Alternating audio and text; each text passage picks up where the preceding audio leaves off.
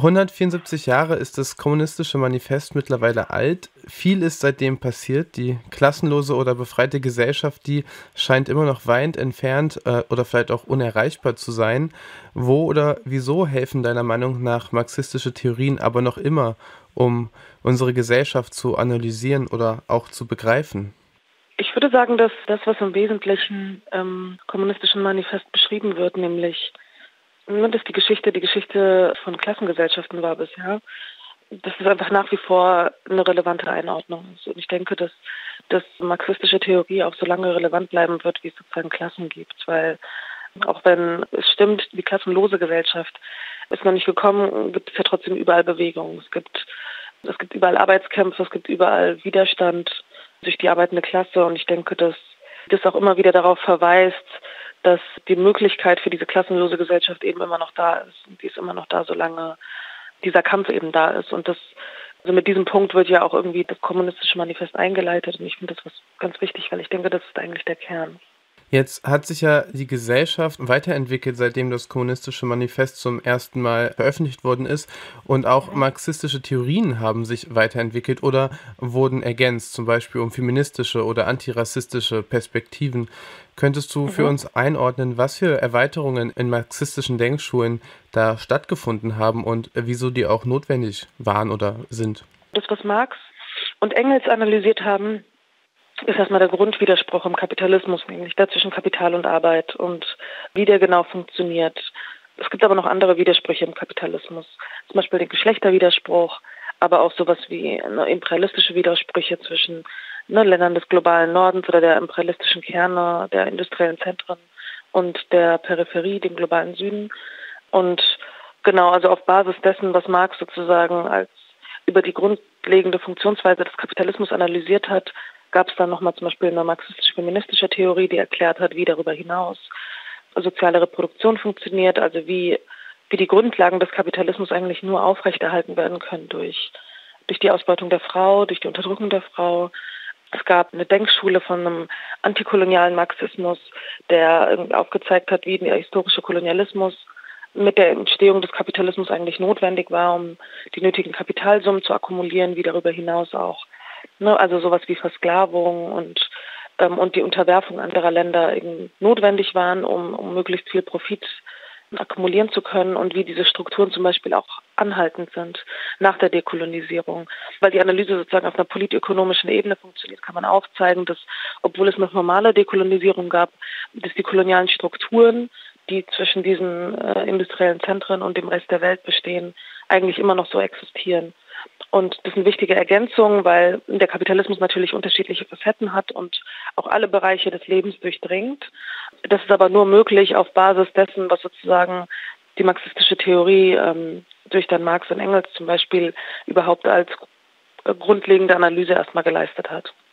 Jetzt hast du ja eben auch schon von dem Haupt- und Nebenwiderspruch gesprochen. Kannst du vielleicht noch mal ein bisschen genauer erklären, was damit konkret gemeint ist in der Theorie von Marx und Engels?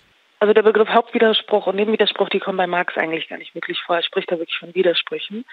Ich meinte jetzt Grundwiderspruch, weil ich sozusagen meine, dass dieser Widerspruch zwischen Kapital und Arbeit der Widerspruch ist, der den Kapitalismus maßgebend strukturiert, der auch die Gesellschaft im Kapitalismus maßgeblich strukturiert. Das heißt, dass man sozusagen auf der einen Seite die Besitzlosen hat, die den Reichtum der Gesellschaft produzieren und auf der anderen Seite diejenigen, die die Produktionsmittel besitzen und sich deswegen den gesellschaftlichen Reichtum als Privat Eigentum aneignen können. Das heißt, das ist sozusagen der Grundwiderspruch.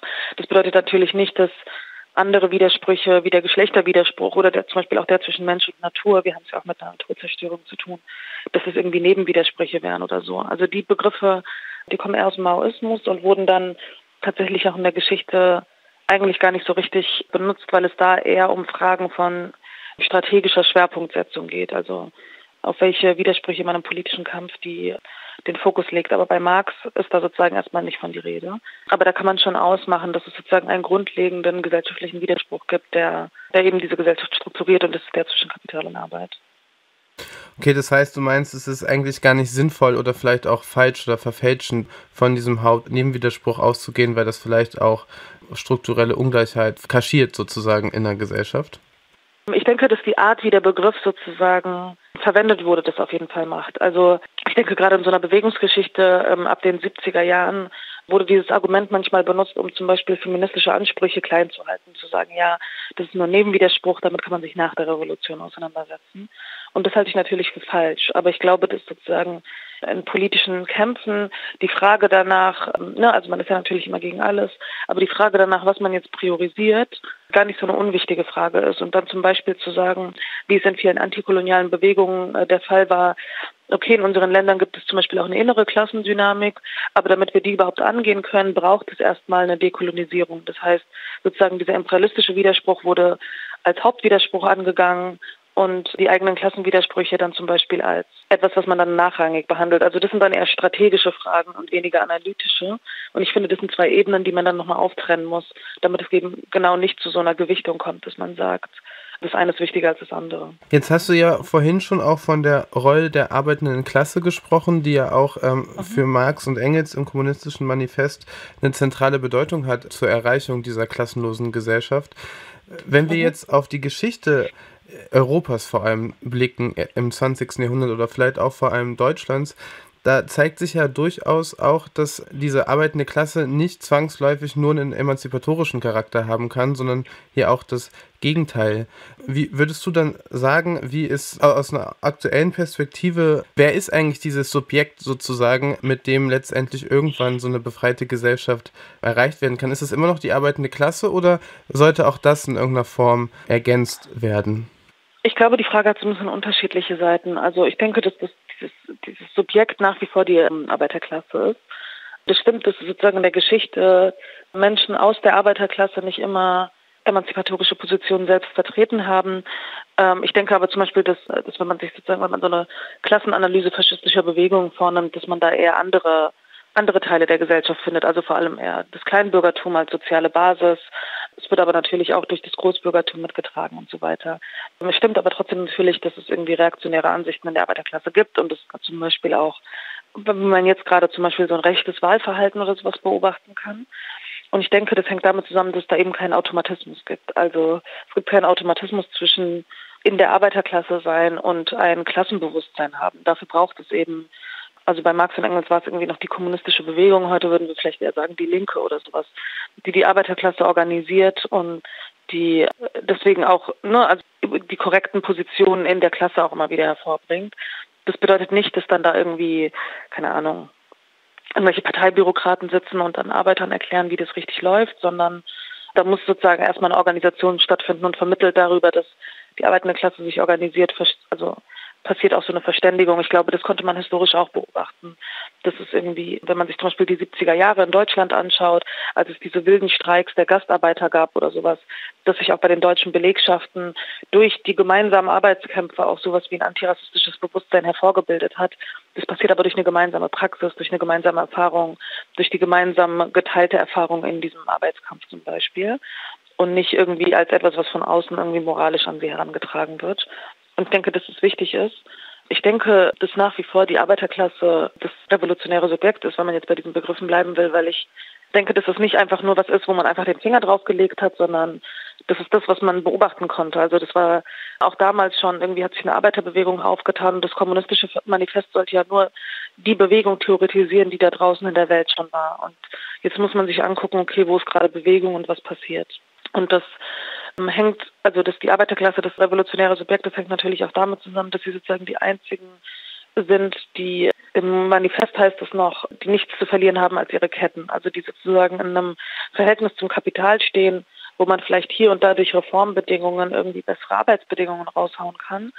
Aber am Ende, also kann das Interesse nur sein, den Kapitalismus abzuschaffen, weil diese, die Tatsache, dass der gesellschaftliche Reichtum eigentlich nur angehäuft werden kann dadurch, dass bestimmte Menschen arbeiten und ausgebeutet werden, schafft bei diesen Menschen eben auch das objektive Interesse, diese Gesellschaftsform abzuschaffen. Das heißt nicht, dass dieses Interesse als unmittelbares Bewusstsein vorhanden ist. Deswegen braucht es eben diese Organisierung. Aber ich denke, dass sozusagen Politik trotzdem interessengeleitet funktioniert. Also dass es nicht funktionieren wird als Charity-Projekt, sage ich jetzt mal, von Menschen aus anderen ähm, Klassen, sondern dass es maßgeblich getragen wird durch diejenigen, die eben in diesem Ausbeutungsverhältnis eben unten stehen.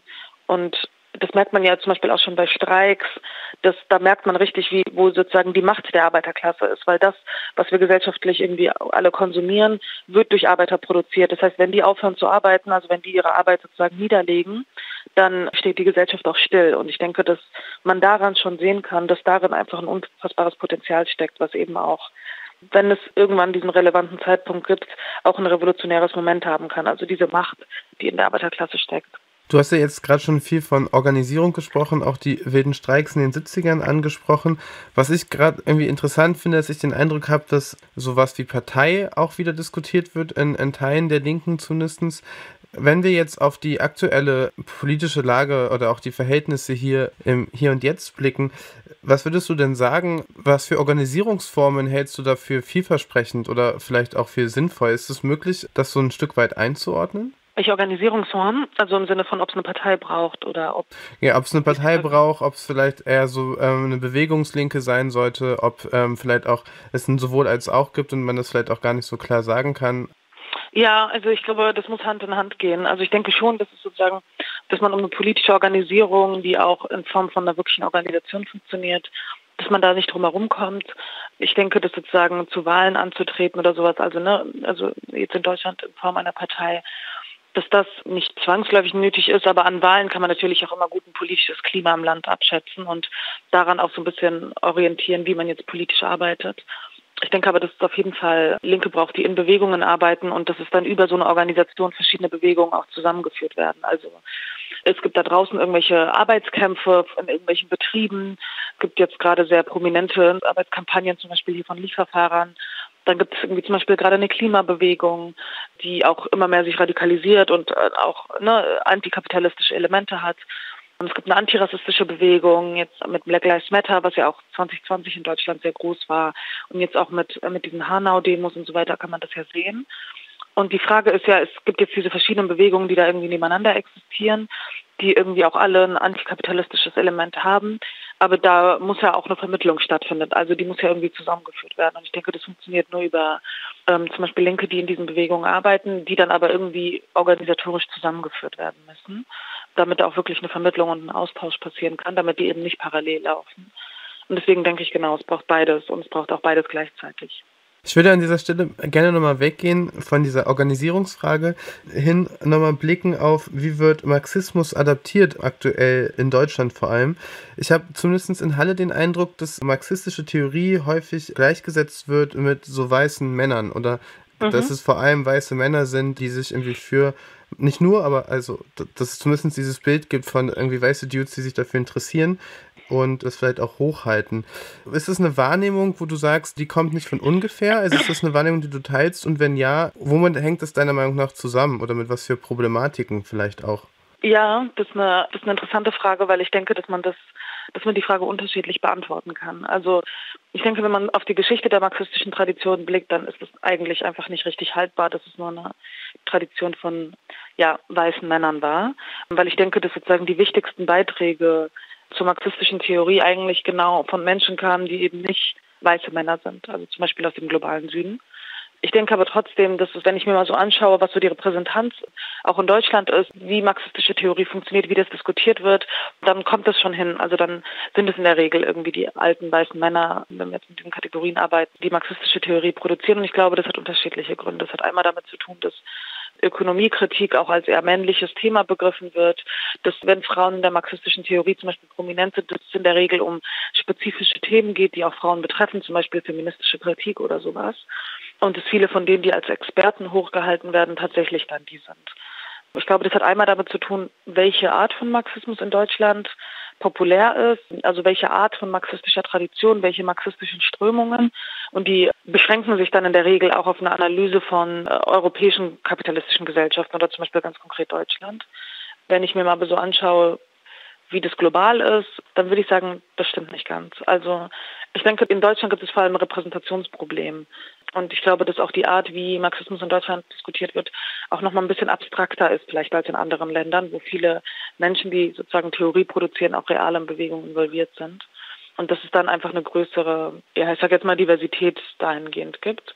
Ich denke aber auf jeden Fall nicht, dass Marxismus die Theorie von weißen Männern ist und dass sich das auch, dass der Wirkraum sich auch nur auf weiße Männer beschränkt, sondern wirklich eher im Gegenteil. Vielleicht nochmal zum Abschluss für unser Gespräch die Frage, wie du das Verhältnis siehst zwischen marxistischer Theorie und auch poststrukturalistischen Ansätzen. Ich habe den Eindruck, dass es ja gerade so die beiden prägenden Theorieschulen sind in der Linken, aus denen sich dann irgendwie heraus eine Gesellschaftsanalyse geschaffen mhm. wird da diese Auseinandersetzung ja häufig auch sehr konträr und auch sehr heftig geführt wird, sozusagen, würdest du sagen, es gibt äh, trotzdem ähm, Schnittmengen, wo es sinnvoll ist, beide Perspektiven zu ergänzen oder um einander zu erweitern? Ähm, oder wie würdest du die in ein Verhältnis zueinander setzen?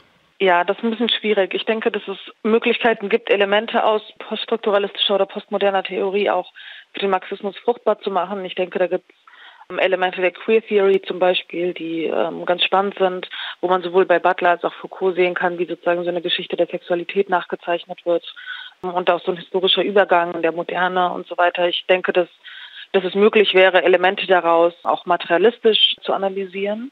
Ich denke aber, dass sie das nicht tun. Also, und ich denke auch, dass das grundlegende Probleme in der Theorie mit sich bringt, was es irgendwie schwierig macht. Und ich denke, dass das, was am Marxismus als Theorie so gut ist, ist sozusagen einmal diese Verbindung von Theorie und Praxis und dann aber auch dieser Anspruch an so eine allgemeine Analyse der Gesellschaft und auch ein Verständnis davon, wie verschiedene Sachen, wie zum Beispiel ähm, kapitalistisches Patriarchat oder rassistische Widersprüche, alle Teilmomente des Kapitals sind. Also dass man die Analyse von einem großen Ganzen hat und damit natürlich irgendwie auch ein universalistischer Anspruch mit einhergeht, ein universalistischer Standpunkt in der sozialistischen Theorie den man im Poststrukturalismus so nicht findet. Da findet man eher so eine Aufteilung, da will man ja auch eher Abstand nehmen von so großen Narrativen, wie zum Beispiel, dass der Kapitalismus global die Gesellschaften strukturiert. Und ich denke, dass das ein Problem ist. Und ich denke auch, dass sozusagen viel von, von poststrukturalistischer Theorie sich auch in Abgrenzung zu Marxismus formiert hat und dass man deswegen auch sehen kann, wieso viele poststrukturalistische Elemente zum Beispiel auch an deutschen Universitäten so beliebt sind, weil sie, was sozusagen politischen Anspruch angeht, auch teilweise so ein bisschen zahnlos sind, wenn ich das mal so hart sagen kann, weil damit eben nicht ein revolutionärer Anspruch einhergeht. Und damit ist es auch nicht, ich sage jetzt mal, gefährlich.